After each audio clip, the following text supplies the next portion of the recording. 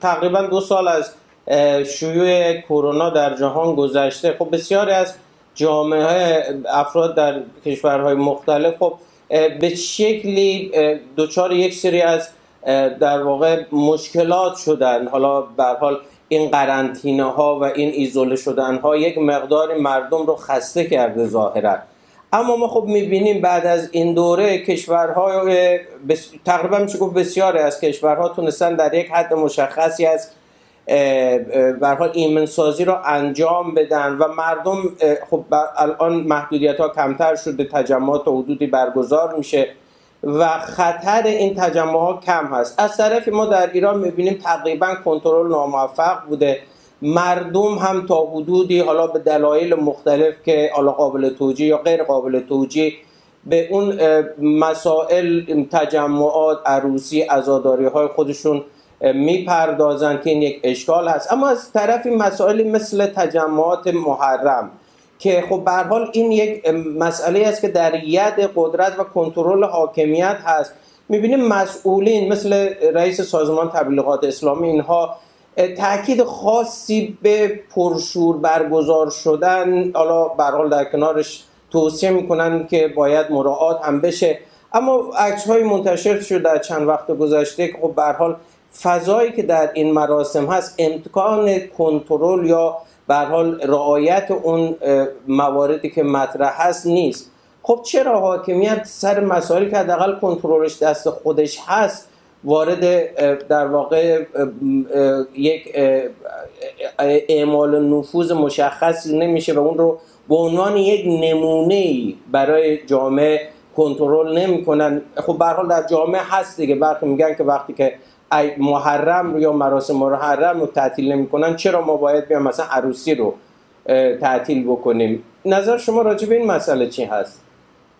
به دو تا مسئله است. که خب اینا یه مقدار بعد از این مرگ میره زیاد یه مقدار مراسم ها رو میگن تصویری نکنید. یعنی اولا دولت نمی‌تواند مراسم محرم جلوگیری کنه از این طرف منافعشان بخششان نیست. یعنی نمی‌دونن جلوی این تجمعات رو ببین گفتم ما باید برگردیم این مسئله اصلی. مردم ببین مثلا میگن استادیوم های فوتبال الان دوباره رونق گرفته. خب جایی جایی که مثلا 50 هزار نفر جمع میشن میگن 25 هزار نفر بیاد برای مراسم های مثل عزاداری این امکان وجود نداره.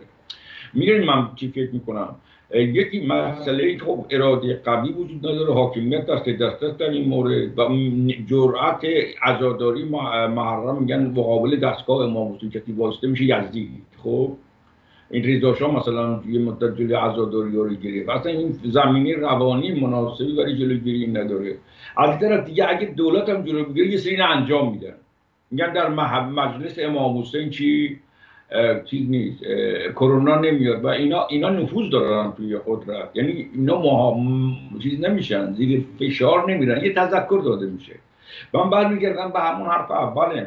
من این برام دیگه الان با توجه به این روح اجتماعی زیست اجتماعی مهم نیست. برای من مهمتره چرا واکسیناسیون انجام نمیشه. شما اینجا شما از این مقامات باید پرسید کشوری مردمی که اینا چرا درباره همه مسائل جهانی مسائل امنیتی یه اشرافی دارن. مردمی که جهان این رسیدن امکان واکسیناسیون وجود داشته. این امکان مدام به تاخیر افتاده. با توجه به این مراسم ها این توجیه نداره. چرا امکان چرا واکسیناسیون صورت نگرفته آیا دو تا مسئله پیش میاد. آیا می‌خوان اینجوری با این مرگی روحی مردم کاملا اسقاط بشه و مردم ضعیف ضعیف ضعیف بشن؟ امکان هر حرکتی نداشته باشن. چون معمولا جوامع وقتی زیاد شکست می‌خورن خودشان احساس ناامیدی بهشان دست میده. کنترل دولت بهشان بیشتر میشه. آیا چنین فکری تو سر این آقایان هست؟ یا از یک طرف دیگه ناتوانی گسیخته. ببینید وقتی شما به یک راه حل میری و موفق نمیشی. یعنی قرنطینه کردن. و می‌بینی عملی نیست. با توجه به اینکه دولت در ایران ندارد یا نمی‌خواهد اون کمکم به مردم بکند در قرنطینه. یارو مغازش رو ببنده باید درآمدی داشته باشه ما هم تو سیستمی نداریم که دولت به طرف کمک کنه خب این در قهر کشورهای غربی صورت گرفته. خب او کشورهایی هم که این ویژگی نبودن حتی مثل هند یک قرنطینه یک واکسیناسیون فوری رو انداختن. و وقتی یک کشورها حتی فقیرتر از ما واکسیناسیون کردن پس این عدم واکسیناسیون برمیگشت اون نگاه آقای خامنه ای که این این این این این این این این این واکسن ها ممکنه چیز باشه. چیز ژنتیکی داشته باشه. این واکسن ها امن نیستن. ویروس کرونا کجا آزمایشگاهی باشه؟ ما باید به تولید داخلی کفا کنیم. و در ذهن خود آقای خامنه می‌بینه ما تو اقتصاد مقاومتی هم مشکل داشتیم. دور زدن تحریم ها در جهت واردات کالاست. در جهت این نیست که ما تکنولوژی رو صادر کنیم. یا تکنولوژی بیاریم که. قدرت منطقه‌ای بدون تکنولوژی قوی و بدون اقتصاد قوی. توهم که آقای خامنه ای داره. این همین رو کنار هم می‌ذاری. همین نکته شما رو میگی بازم برمیگرده. تا راه ممکن عملی واکسیناسیون بوده که آقایان در این مورد تاخیر یا قصور به ام یا حتی غیر ام داشتن. ولی نتیجهش یکسانه. نتیجهش یکسانه. نتیجهش می‌تواند بسیار بد باشه. عصبانیت های در عین ناتوانی و ناامیدی که آدما در تو خودشون برن و ناامید عمل کنن. و خسته بشن فکر کنن دیگه راه مفری ندارن. گیر یه سری انسان حکومتی افتادن. در در این حال ضعیفتر از اونن در این حال معترضن در این حال ناامیدن. آیا آقایان دنبال این هستن؟ البته اینم جواب نمی‌گیرن. ولی شاید, شاید دنبال این ایده هستن.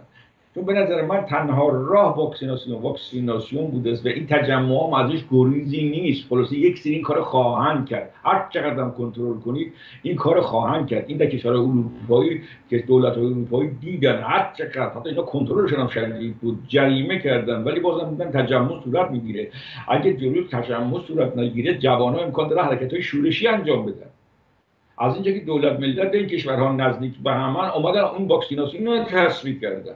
واکسیناسیون خرج کمی نداشت. اینا کمک کردن به تولیدش. البته اگرچه از مالیات مردم خواهند گرفت ولی به هر شکل این کار انجام دادن. چیزی که در ایران در مورد واردات این واکسن مقاومت شد. و این شخص آقای خامنه ای کرد.